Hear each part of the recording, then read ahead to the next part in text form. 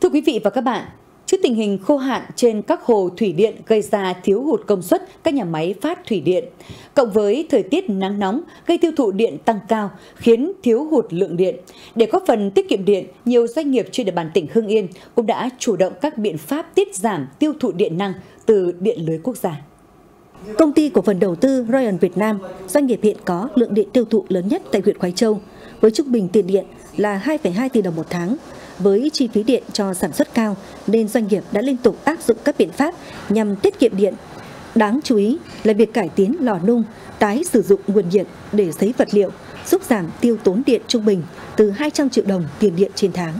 những cái lộ mà sử dụng nhiều điện thì sẽ chủ động cái sản xuất lắp hệ thống biến tần để tiết kiệm điện và tránh những giờ cao điểm chúng tôi chủ yếu sử dụng giờ trung điểm và thấp điểm tới này chúng tôi sẽ triển khai à, cái hệ thống điện áp mái với à, dung lượng khoảng 3 kW cho giai đoạn đầu tiên Công ty cổ phần thép Việt Ý chi nhánh Hưng Yên cũng là một trong những doanh nghiệp có lượng điện tiêu thụ lớn tại khu công nghiệp phố đối A.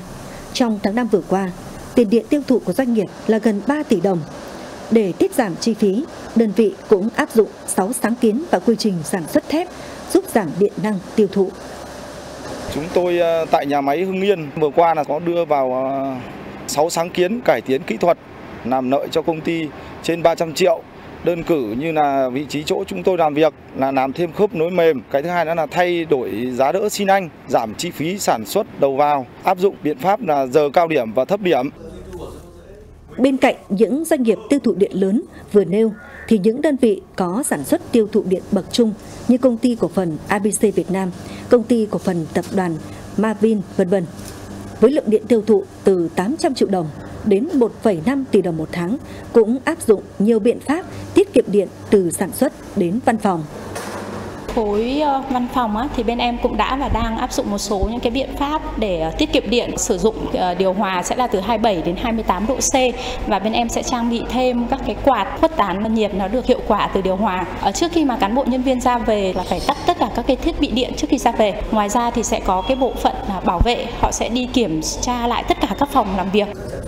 Áp dụng đồng bộ các giải pháp tiết kiệm điện với quy chế sử dụng điện, áp dụng công nghệ cao với tỷ lệ tự động hóa trong sản xuất.